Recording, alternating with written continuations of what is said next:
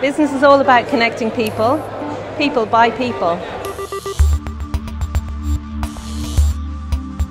At Business West, we run hundreds of networking events throughout the year.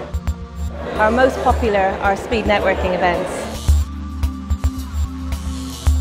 You get 20 people in a room for 45 minutes. It's an opportunity to make new contacts and get some really good leads.